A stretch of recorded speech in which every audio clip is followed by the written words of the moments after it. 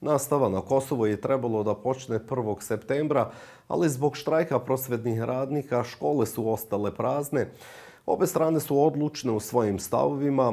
Sindikat prosvetnih radnika insistira na povećanje plata za 100 evra, dok e, vlada prošle nedelje je paketom mera protiv inflacije usvojila povećanje plata svih zaposlenih u javnom sektoru za 50 evra do nove godine.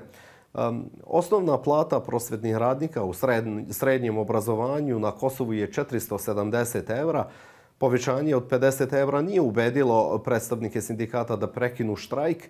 Ipak, postoje izuzeci. Danas nastavnici u nekoliko škola u opštini Đakovica su odlučili da nastave sa radom, tako da je nastava počela u pet škola. Ipak, radi se o veoma malom broju škola. Sve ostale školske ustanove i obdaništa su i dalje u štrajku.